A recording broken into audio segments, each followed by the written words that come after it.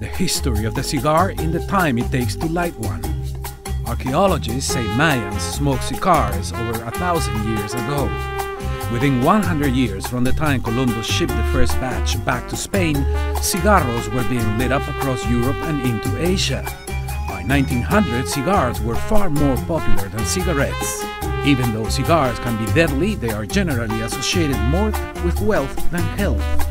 From presidents and prime ministers to gangsters. Sometimes even with a stogie, when it comes to reputation, you can be close but no cigar.